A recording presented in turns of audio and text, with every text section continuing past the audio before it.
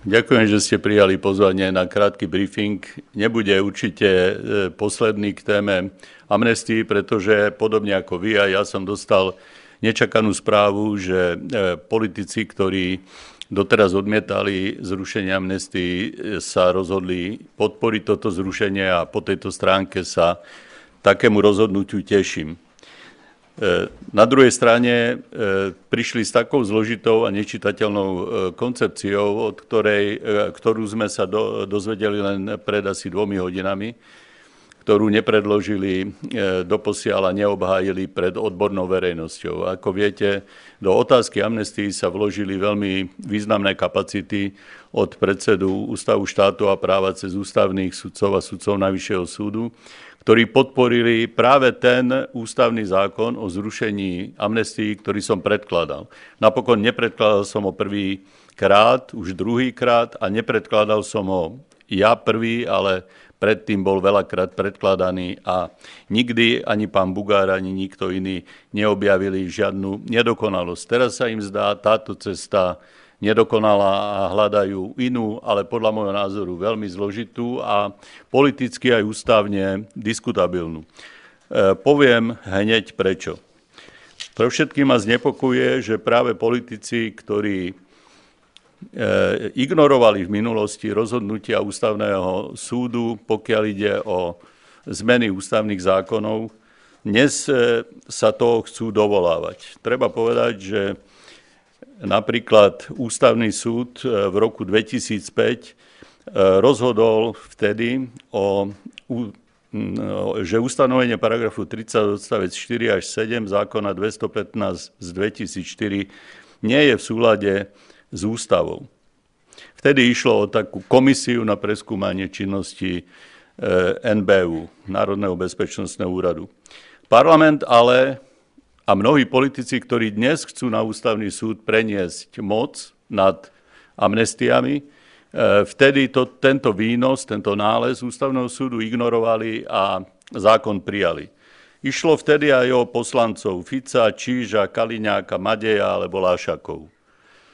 E, tento historický fakt, ktorý sa udial 27.2006, E, ma varuje a pýtam sa, či tá, tento krok, ktorý teraz ide, ide e, skupina politikov urobiť, je myslený vážne a úprimne.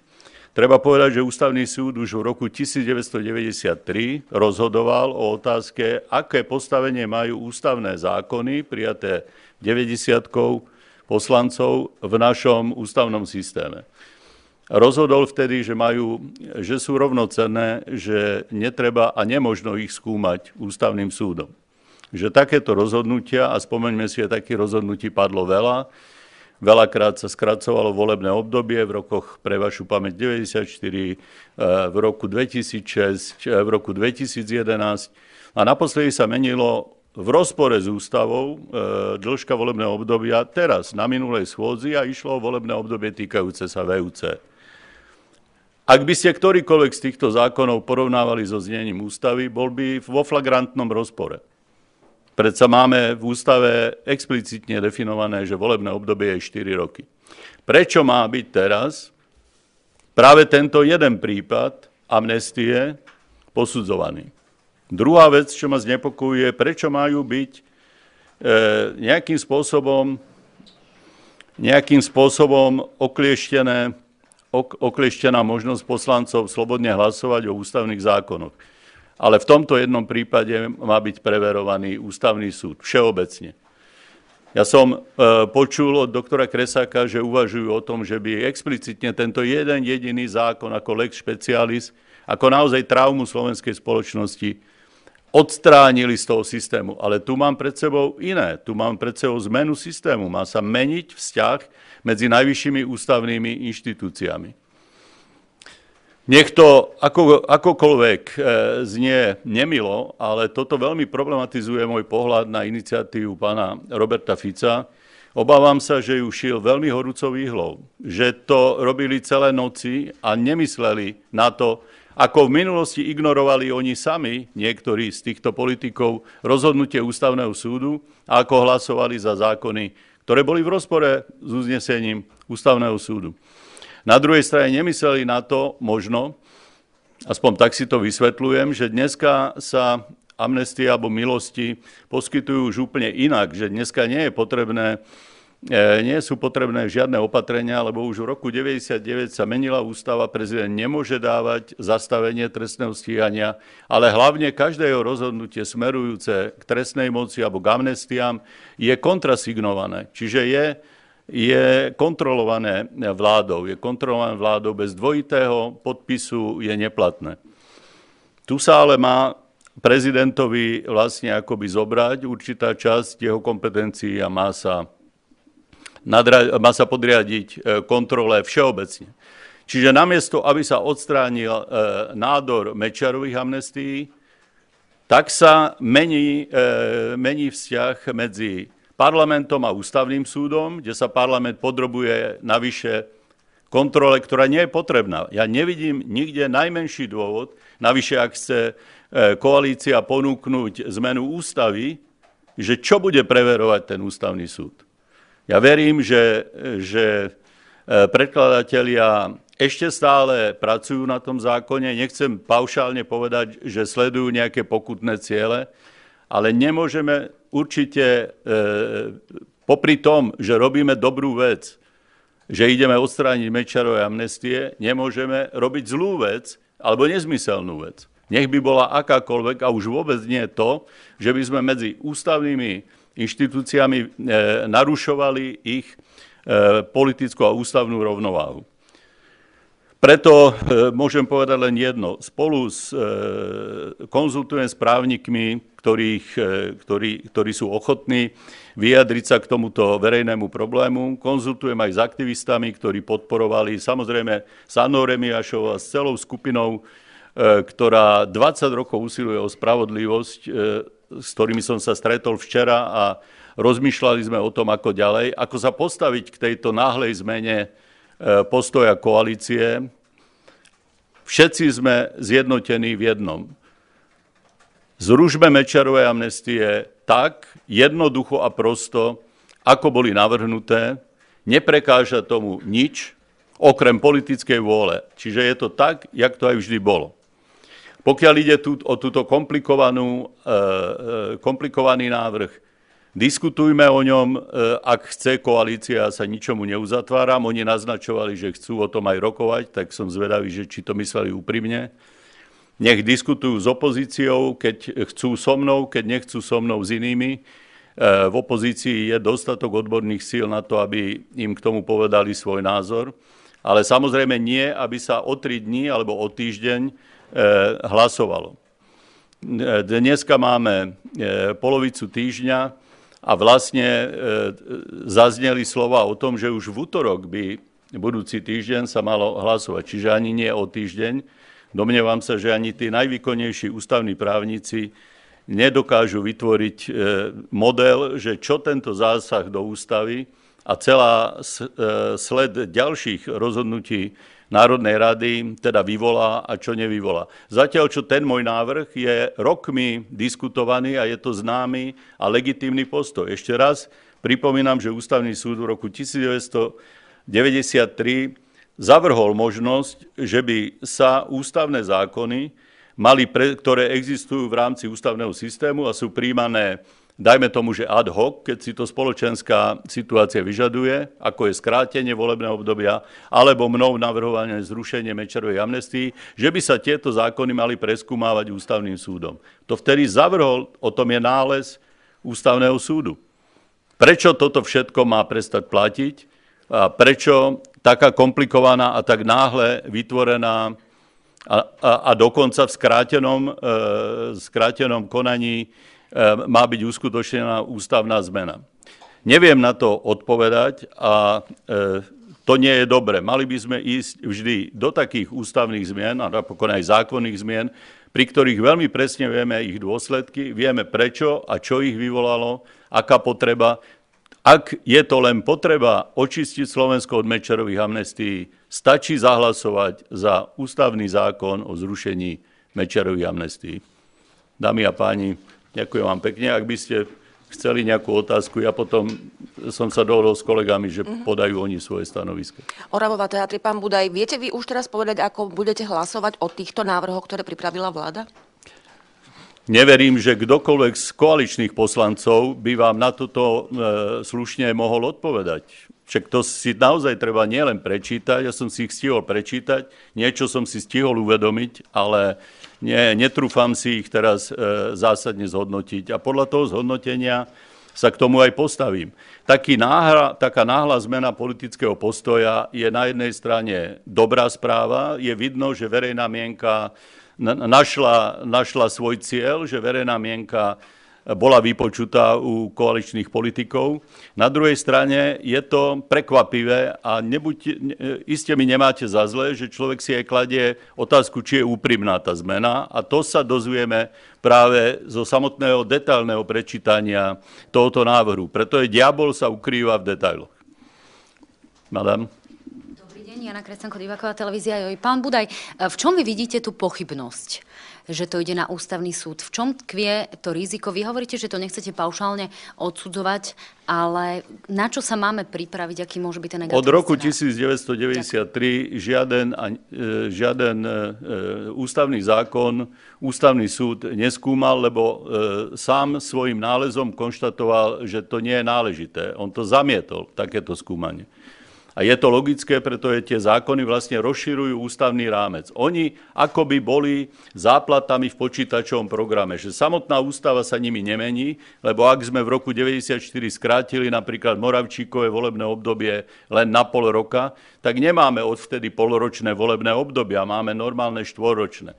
Ale pre danú chvíľu to je spoločenská aj právna zhoda a ako vidíme aj zhoda v rozhodnutí vtedy ústavného súdu na naliehavú spoločenskú potrebu, ako dajme tomu bola neochota spolu vládnuť, dajme tomu v prípade pádu vlády Ivety Radičovej, tak na takúto situáciu pamätal náš ústavný systém tým, že sme mohli prijať a môžeme prijať ústavný zákon o skrátení volebného obdobia, alebo ústavný zákon napríklad, ktorý sa týka tých vyšetrovacích komisí. Prečo by táto prax, ktorá trvá 25 rokov v samostatnej Slovenskej republike, mala byť e, porušená? Opýtam sa inak, ide podľa vás v tomto koaličnom prípade o to, aby to zamrzlo na ústavnom súde? Ďakujem. Tých podozrení by som mohol vyslovovať veľa. Viete, je pravdou, že na ústavnom súde sú aj e, sudcovia, ktorí sú bývalými politikmi Mečarovej éry.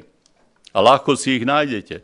Možno odteraz už prestaneme tak zabúdať že koho máme na najvyšších ústavných e, organizáciách, ktorí požívajú absolútnu imunitu a 12-ročné e, volebné obdobie.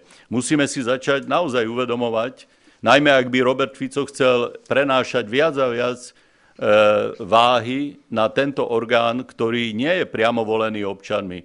A skutočne je tam, je tam niekoľko nepríjemných politických nominantov, nepríjemných z toho hľadiska, že ne, nemožno ani v najmenšom pochybovať, že sú to politickí nominanti a že sa k svojej funkcii a k svojej nominácii nedostali na základe dlhoročnej činnosti právnikov a ústavných odborníkov, ale čisto ako e, za stranickú poslušnosť.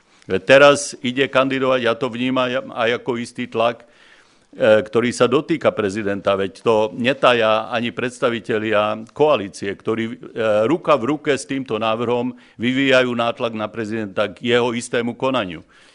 Ale vravím, to by som sa ocitol vo sfére domienok. Na druhej strane nemôžeme podporiť, nikto rozumný človek nemôže podporiť takú cestu, na ktorej konci bude zrušenie toho zrušenia, o ktoré 20 rokov usilujeme. Nemyslíte si, e, Jean, že tu spoločnosti začali traumatizovať vy práve vyťahnutím týchto vecí po 20 rokoch? Prečo práve v tomto čase? Nemyslím. Nie? Ako to bolo Nech sa páči ďalšie otázky. verejnosť není oboznamená s vlastným pôsobením. Nech sa páči ďalšie otázky. Pokiaľ nemáte, budú hovoriť s vami, sa nebudem ďalej. Prečo so mnou nie? Ďakujem veľmi pekne. A vážené, pán Daňo. Vážené dámy, vážení páni, za SAS ako najsilnejšiu opozičnú stranu a musím povedať, že v prvom rade sme si vedomí spoločenského tlaku a spoločenskej zodpovednosti, ktorá je daná na všetkých poslancov Národnej rady. Sme si vedomi toho, že tých možno už 70 tisíc podpisov, ktoré máme na internete za zrušenie Mečiarových amnestií, tam nie sú kvôli tomu, že by občanov nejak extra zaujímalo, kto a ako to urobí. Sú tam kvôli tomu, aby Mečiarové amnestie raz a navždy sa stali minulosťou. Zároveň treba povedať, že sme sa doskali, dočkali zaujímavých zvratov. Na Slovensku nemôže platiť, že ústavné je to, čo za ústavné vyhlási predseda vlády. My sme presvedčení o tom, že ak 26 najlepších právnikov v oblasti ústavného práva povedalo, že amnestie nielen sa dajú, ale sa majú zrušiť a že sa dajú a majú zrušiť ústavným zákonom, tak neexistuje dôvod, prečo iný názor, vyslovený premiérom tejto krajiny, by mal byť platnejší. Preto za SAS môžem povedať, že my rešpektujeme vôľu 26 ústavných právnikov, ktorí vyhlásili, že e, zrušenie Mečiarových amnestií ústavným zákonom je validné, legitimné e, a že nie len, že je technicky možné, ale vzhľadom k tomu, o čo by nám všetkým malo ísť, a to je bazálna spravodlivosť a rešpektovanie princípov demokratického štátu, tak je aj nutné. Pri konkrétnom návrhu, ktorý máme dnes ráno, treba povedať zásadne hlavne jednu prvú vec. Je neakceptovateľné, aby tento návrh išiel do parlamentu v skrátenom legislatívnom konaní. Neexistuje preto jediný legitímny dôvod a ak tí istí ľudia, veď Bela Bugár už by mohol mať v tejto budove vytetované dekapečko na pleci, toľko tu je. A nerozumiem tomu, prečo tento človek, takisto pán Fico, ktorý sa dneska oháňa tým svojim mávaním zbierkou zákonov, nedokážu počkať jeden mesiac alebo pár týždňov na normálne legislatívne konanie a musia to hnať do skráteného legislatívneho konania v situácii, keď 20 rokov tvrdili niečo iné. Je nepriateľné, aby kvôli politickým dôvodom, aby kvôli, im, kvôli ich hre, ktorú chcú rozohrať s prezidentom tohto štátu, ich hre, ktorú chcú rozohrať e, s možnosťami, ako doobsadiť alebo nedoobsadiť ústavný súd, sa zrušenie Mečiarových amnestií stalo rukojemníkom ako téma.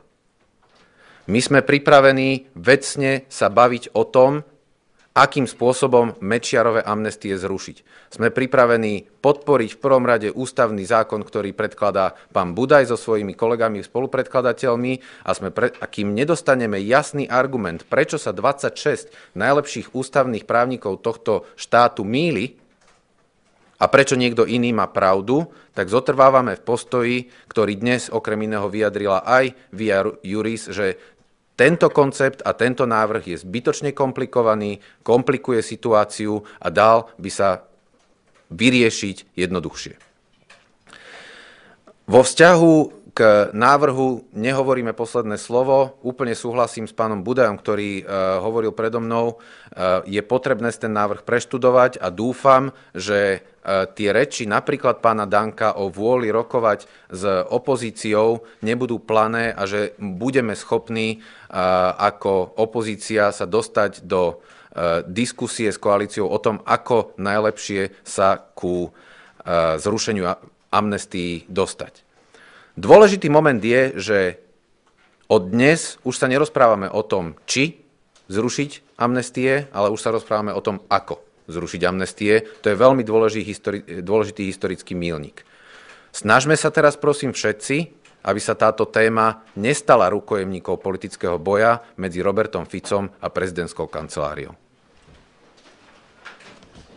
Ďakujem veľmi pekne. Ja by som nadviazal na Martina Poliačika v tom, že naozaj zažívame historické chvíle, že sa konečne bavíme o tom, akým spôsobom zrušiť Mečiarové amnestie. A dovolte, aby som v tejto situácii poďakoval verejne Janovi Budajovi za jeho vytrvalosť eh, v tejto agende, že sa nezdával a takisto za podporu desiatkam tisíc ľudí, ktorí sa podpísali pod petíciu a pod týmto tlakom, hlavne teda Jana Budaja a ďalších ľudí, aj možno s prispením eh, filmu, ktorý bol natočený na túto tému, musel Robert Fico svojím spôsobom kapitulovať. Lenže chcel by som byť, chcel by som veriť dobrým úmyslom Roberta Fica a Andreja Danka, ale vieme, čo sú to za ľudia. A preto si myslím, že treba za tým hľadať aj niečo iné, čo chcú v skutočnosti riešiť. Skutočnosť a čo týmto chcú využiť a na čo chcú vlastne amnestie zneužiť, podľa toho, ako to spravili, tak je to, aby obsadili ústavný súd do roku 2031 čisto svojimi nominantami. Lebo dnes je situácia taká, že na ústavnom súde z 13 sudcov reálne je 10, ako treba v mojom prípade rozhodovalo plénum zložené z iba z 8 sudcov. Ukázal by som to na tomto obrázku. To isté sa môže stať, ak budú rozhodovať ústavní sudcovia alebo plénum o amnestiách. V mojom prípade, hoci mi môj senát dal za pravdu, že podnikanie nie je, je sústavná činnosť a tak ďalej, jednoducho išlo to na celé plénum, prišlo iba 8 sudcov a 7 sa nenašlo. Jednoducho latka na to, aby to plénum rozhodlo v môj prospech, bola 88%. Príliš vysoko, vzhľadom na to, že tam je menej sudcov. Čiže považujem tento krok, ktorý teraz Robert Fico s Andrejom Dankom a bohužiaľ aj za prispenia Belu Bugára, čo robia, nič iné, iba obrovský tlak na pána prezidenta, aby maximalizoval počet sudcov a v podstate znížil láčku na to, aby prešli amnestie, aby boli zrušené amnestie. Že budú ukazovať na neho prstom, keď chcete, pán prezident, zabezpečiť, aby tento návrh našiel podporu, doplňte sudcov, lebo inak bude treba príliš vysokú lačku a to sa nenájde. A to sa nenájde preto, lebo dnes z tých sudcov, ktorí tam sedia, sú viacerí nominanti Vladimíra Mečiara. Ešte raz, sú nominanti Vladimíra Mečiara. Naši ústavní sudcovia, ktorí rozhodujú o ústavnosti, sú nominanti Vladimíra Mečiara, človeka s krvavými paprčami. Tí ľudia majú rozhodovať o tom, či zrušia Mečiarové amnestie. Toto je perfidný návrh, čo urobil Robert Fico, zneužil tento návrh, zneužil dobromyselnosť všetkých ľudí, ktorí podpísali petíciu. Takýmto spôsobom chce vytvoriť tlak na prezidenta, aby kapituloval v tom statočnom boji, kde odoláva nominovať tam ústavných sudcov. Ústavných sudcov pani Lašákovú, Palculienku, ktorá tu ukazovala poslancom zásmer, ako majú hlasovať. Alebo ústavnému sudcovi, ďalšiemu poslancovi, kandidátovi na, na ústavného sudca, pánu Mamojkovi. Áno, prezident sa bráni, bráni náš záujem, bráni verejný záujem, aby ústavný súd nebol unizono iba tak, ako si praje Robert Fico. Chce zneužiť amnestie na to, aby ústavný súd zabezpečil beztrestnosť Roberta Fica, Andreja Danka aj ktoréhokoľvek ďalšieho lumpa, ktorý je s nimi spojený, keď raz príde zúčtovanie. Lebo keď si obsadia ústavný súd do roku 2031 svojimi unizóno ľuďmi, lebo dnes pritlačia cez amnestie na prezidenta, tak my sa nedovoláme spravodlivosti do roku 2031. A podotýkam, že to bude 42 rokov odtedy, kedy tu bola tzv. nežná revolúcia. To bude viac, ako nám vládli komunisti. Toto je bohužiaľ za týmto návrhom a obávam sa, že iba tento zlý úmysel tam musíme vidieť. Nech sa páči, prípadne nejaké otázky. Pán Matovič, e, tak povedzte za vašu stranu alebo za vašich poslancov, ako teda sa postavíte k týmto návrhom. Dáte im prípadne voľnú ruku alebo akým spôsobom? V prípade tejto agendy ja plne stojím za názorom Jana Budaja, je lídrom tejto témy, je to jeho návrh, je poslancom nášho poslaneckého klubu. Ako sa Jan Budaj v tejto veci rozhodne, ja sa budem snažiť ho podporiť a budem sa snažiť presvedčiť aj ostatných e, ľudí na našom klube. Je to jeho téma. Iba preto, že on bol statočne vytrvalý, iba preto dnes uh, môžeme mať pocit, že Robert Fico kapituloval. Ale tak, ako som ukázal, Robert Fico sleduje svoj vlastný záujem a záujem všetkých zlodejov, ktorí nám rozkradli Slovensko. Lebo keď zabetónuje ten ústavný súd, keď tam bude mať iba svojich ľudí, nikto sa na Slovensku nedomôže spravodlivosti. Lebo čokoľvek by sme spravili, príjmeme návrh zákona, aj ústavný návrh zákona nejaký, nám to zablokuje ústavný súd lebo tam bude mať svojich ľudí do roku 2031. Dobre, ale tak veľmi e, na rovinu, povedzte za, za vaše strany. Už Hovorím, viete, ako budete hlasovať? To, bolo by to nezodpovedné, tak ako povedal Jan Budaj, keď máte dve hodiny v rukách návrh zákona, ústavný návrh zákona, spojený s ďalšími návrhmi na skrátené legislatívne konanie a súvisiacimi, aby sme vám teraz hneď povedali, ako budeme hlasovať. Preštudujeme si, počuli sme slova o tom, že sú ústretoví rokovať, uvidíme, či tá ústretovosť bude iba na papieri, alebo per huba, alebo aj v skutočnosti. A ako som povedal, ja osobne sa budem riadiť názorom Jana Budaja. Ja za SAS môžem povedať, že budeme komunikovať určite minimálne s právnikmi, niektorými z tých, ktorí boli na začiatku tej výzvy. Berieme do úvahy stanovisko Via Juris, ktoré bolo vydané len teraz pred, pred niekoľkými minutami.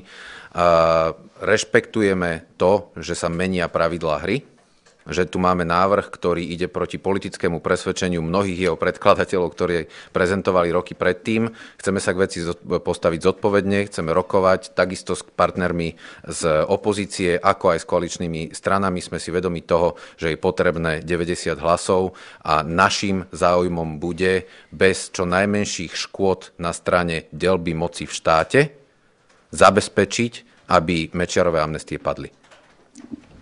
Serebrieko Markíz, prax a matematika je taká, že je zjavné, že návrh pána Budaje neprejde, že budúci týždeň tu budeme mať tieto návrhy v parlamente. Ako ste povedali, 70 tisíc ľudí, ľuďom je jedno, ako to bude schválené. Viete si predstaviť, že keď už to bude na stole, že nezahlasujete za zrušenie Mečiarových amnestí? Aj keď tu bude vládny návrh. Pozrite sa, najprv sa budeme musieť rozprávať o tej zmene ústavy. Ja pevne verím, že ak je snaha koalície o zrušenie amnestii úprimná, tak, sa, tak bude úprimná aj snaha o rokovanie, čo sa týka obsahu tejto zmeny ústavy. Tá zmena ústavy posúva delbu moci na nové ihrisko, zvyšuje kompetencie ústavného súdu a obmedzuje kompetencie najvyššieho ústavodárneho orgánu tohto štátu, a to je Národná rada. To znamená, na začiatku sa musíme porozprávať a prejednať a preštudovať návrh na zmenu ústavy a až keď budeme si istí, že budeme vedieť všetky konsekvencie, ktoré bude znamenať táto zmena ústavy, tak potom sa môžeme rozprávať o tom, či v rámci tej zmeny je zrušenie Mečiarových amnestí prípustné alebo nie. Teraz vám to neviem povedať, lebo ako sám viete, e, ten, tie návrhy vyšli z tlačovky e, koaličných predstaviteľov dnes ráno e, a nikto nevie návrh zmeny ústavy preštudovať za pár hodín tak, aby odhalil všetky možnosti, ktoré takáto zmena prináša. Keď dovolíte na to, tak ešte by som to povedal inak.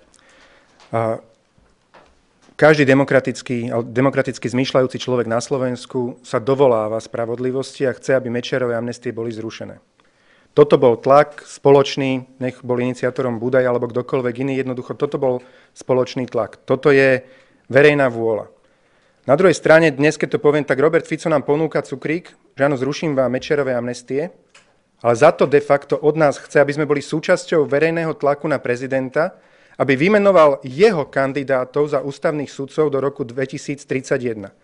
Inak povedané, Robert Fico nám dnes svojim návrhom ponúka trest pre Vladimíra Mečiara a chce to vymeniť za svoju beztrestnosť a beztrestnosť svojich kumpánov, lebo mu odsúhlasíme jeho sudcov na ústavnom súde do roku 2031. Toto je jednoduchá matematika.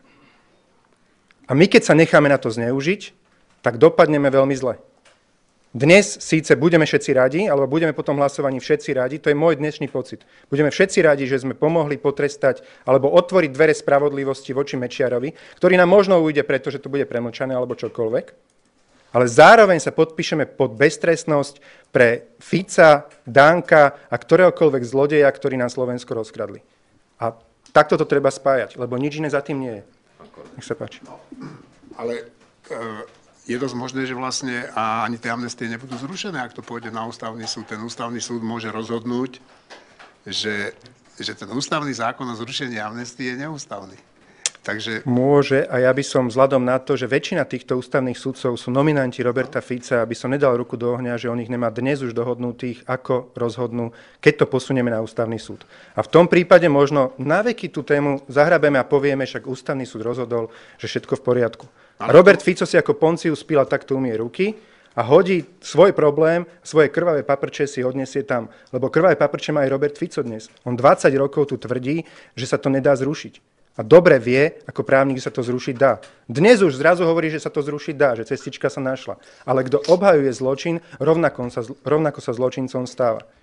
No, ale Čiže to... je to dosť možné, že dopredu to je dohodnuté, ako ten ústavný súd rozhodne. Má tam dnes väčšinu svojich nominantov a ďalší sú od Vladimíra Mečiara. Ako takýto ústavný súd môže rozhodnúť? No, ale to k tomu smeruje. Bohužiaľ.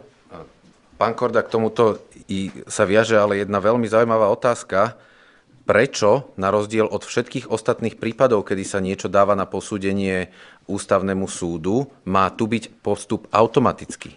Ja by som rozumel tomu, ak by v návrhu ústavy bolo napísané, že pri tomto špecifickom druhu uznesenia, ak sa nájde 30 poslancov v pléne, ktorí dajú námietku, potom že by ústavný súd rozhodoval, nerozumiem tomu, prečo by to malo byť, ale aspoň by som chápal logiku, že prečo to niekto navrhol. Ale ak to má byť automatické, tak je to výrazné zvýšenie právomoci ústavného súdu a tuto je presne dôkazné bremeno na strane koalície, aby povedala, prečo podceňuje silu parlamentu ako ústavodárneho orgánu natoľko, že nedáva na zváženie niekomu, či to dá na ústavný súd, ale dáva ako automatický postup. A samozrejme tá E, tá cesta myslenia, ktorú prezentujete a tá podozrievavosť je logická, že by e, niekto že by niekto mohol povedať, že sa to má iba upratať tak, aby ústavný súd o tom nakoniec buď nerozhodol, alebo to zrušil a tým pádom budú na veky e, mečiarové amnestie sprátané zo stola, ale ja by som rád vedel, ako sa potom bude cítiť Bela Bugár. Lebo Bela Bugár 20 rokov mal snahu bojovať proti amnestiám a to nie tak, aby sa technicky zmietli zo stola, ale aby bola učinená cesta spravodlivosti. dovolíte, niekto sa ale môže pýtať, že veď aj s tým návrhom pána Budaja by hneď na druhý deň niekto určite utekal na ústavný súd, čiže tá koncovka by mohla byť v zásade rovnaká. Nie je to takto? Za súčasných podmienok by ústavný súd nemohol ten návrh posudzovať, pretože ústavný súd môže hrať iba na tak veľkom ihrisku, aký, akému parlament nakreslí. A tu by bol mimo. Dovolím si, pre, prepačte, prepačte, prosím vás. Dovolím si ešte v tejto veci povedať jednu vec. Pozerajme sa na to, kto to hovorí. Robert Fico nám posledné dva týždne káže o boji proti korupcii. Človek, ktorý býva v symbole korupcie, ktorý bere v podstate úplatok od Baštrnáka, lebo má drasticky znížený nájom a nikto nevie prečo. Alebo lepšie povedané, vieme, že následne ho hájí a ministra Kaliňáka. Tento istý človek dnes zrazu po 20 rokoch tvrdí, že vie zrušiť amnestie, hoci ešte minulý týždeň alebo predvčerom bojoval za to, že sa jednoducho nesmú zrušiť. Andrej Danko takisto. Dajme si dole rúžové okuliare, že títo ľudia to s nami myslia dobre. Pozerajme sa na ich predošlé skutky a pozerajme sa na zlý úmysel, ktorý dnes alebo dodnes v politike vždy preukázali. Čokoľvek, čo urobili, a na prvý pohľad sa nám zdalo, že to je dobré pre spoločnosť, aj nám to tak odprezentovali, nakoniec za tým bolo niečo zlé. Buďme veľmi, veľmi opatrní a preto zodpovednosť káže aj neodpovedať na otázku, že či podporíme, nepodporíme. Toto je vážna vec. Keď nás chcú presvedčiť o dobrom úmysle, tak musia sa stretnúť s opozíciou a musia s nami rokovať ako s rovnocennými, lebo chcú aj naše hlasy. Nemôžu teraz náš tlačiť a využiť vlastne tlak, ktorý Jan Budaj vygeneroval medzi ľuďmi, 10 tisíce podpisov, že však teraz rýchlo, rýchlo odhlasujte, však teda Fico konečne sa zobudil, tak treba to prijať tú ponuku. Ale keď sa tým hlasovaním dostaneme do vlastnej pasce ich beztresnosti, tak to bude veľmi, veľmi nezodpovedné rozhodnutie. Ak už nemáte, ak už nemáte ďalšie otázky, ďakujeme.